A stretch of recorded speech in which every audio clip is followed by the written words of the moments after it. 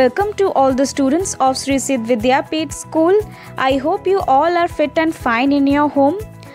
So students, आज हम पढ़ेंगे कक्षा सातवीं का हिंदी का आठवां पाठ शाम एक किसान जो कि एक बहुत ही सुंदर कविता है जिसके लेखक हैं श्री सर्वेश्वर दयाल सक्सेना जी जिन्होंने इस कविता में शाम के समय का बड़ा ही मनोहर वर्णन किया है तो बच्चों, शाम का एक प्राकृतिक दृश्य, जो कि एक बहुत सुंदर होता है, आप सबने देखा होगा।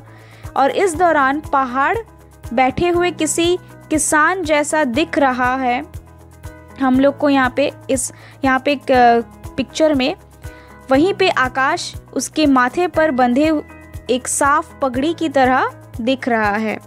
पहाड़ के नीचे बह रही नदी किसान के पैरों पर पड़ी चादर जैसी लग रही है। पलाश के पेड़ों पर खिले लाल फूल किसी अंगीठी में रखे अंगारों की तरह हमें दिख रहे हैं।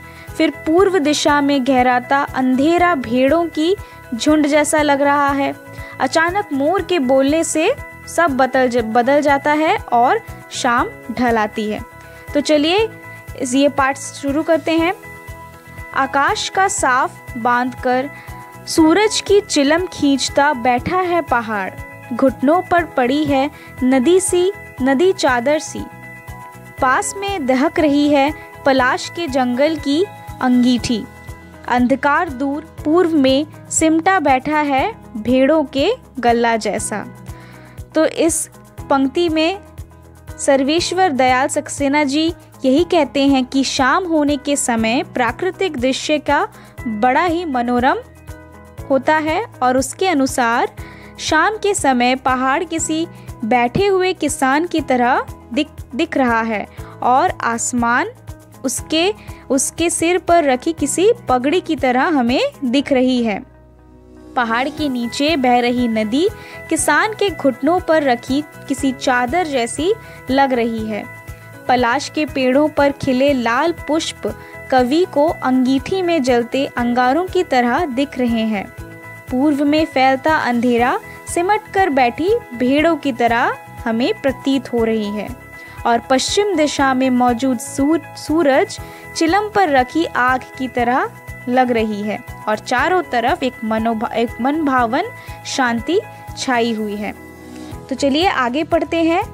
अचानक बोला मोर जैसे किसी ने आवाज़ दी, सुनते हो, चिलम औंधी, धुआँ उठा, सूरज डूबा और अंधेरा छा गया।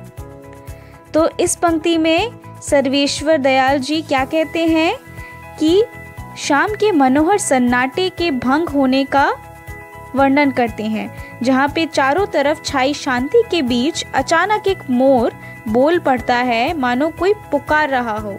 क्या बोलता है कि सुनते हो फिर सारा दृश्य किसी घटना में बदल जाता है। जैसे सूरज की चिल्म किसी ने उलट दी हो, जलती आग बुझने लगी हो और धुआँ उठने लगा हो। असल में अब सूरज डूब रहा है और चारों तरफ़ अंधेरा छाने लगा है, यानी रात होने लगी है शाम से। तो इसी के साथ यह कविता ख़त्म होता है। आप सब इस कविता को अच्छे से अपने घर में पढ़ेंगे। और चाहे तो आप इसको याद भी कर सकते हैं। बहुत ही प्रेरणादायक कविता है और बहुत ही सुंदर कविता है जिसमें हमें एक पूरे दृश्य को कितने सुंदर मनोभाव से हमें दर्शाया गया है। तो आप ये सारे जो कविता ये ये जो कविता है अपने घर में पढ़ेंगे और इसके जो प्रश्न उत्तर है, वो हम दूसरे क्लास में करेंगे। धन्यवाद।